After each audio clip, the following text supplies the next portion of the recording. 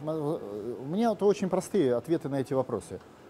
Работает хорошо то, что соответствует нашему менталитету, нашей территории, нашему климату, нашему пространству. То есть соответствует той обстановке, в которой мы с вами живем, как жители России. А России, напоминаю, тысячи лет.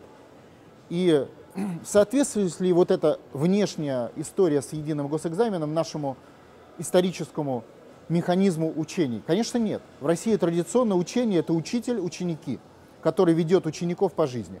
Для англичан, для американцев это э, разные этажи, не учитель-ученики, это некие тесты, это минимальное соответствие требованиям и не больше того. Значит, на что направлен единый госэкзамен по требованию колонизаторов, который поэтому и был введен?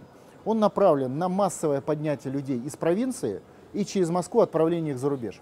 То есть он помогает обеспечить миграционные потоки из России. Это первая задача. Второе – дебилизация населения, потому что колонизаторам не нужны умные люди, им нужны туземцы. Умных они вывозят через гранты, а туземцев они создают. То есть отсюда и запрет на идеологию в Конституции, которая написана под, по команде американцев, и многое другое. То есть э, единый госэкзамен – важный элемент колониального курса.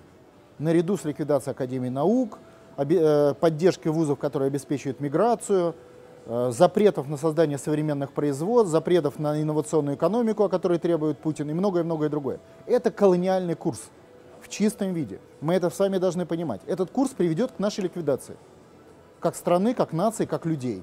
Но люди должны сделать выбор. Они хотят погибнуть вместе со страной, или они хотят за нее бороться, как делали их и деды, и прадеды.